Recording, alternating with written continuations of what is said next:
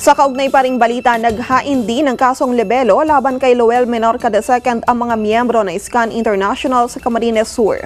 Ang kaso ay isinampa ni Salvador Banaria Jr. sa Iriga City Prosecutor's Office.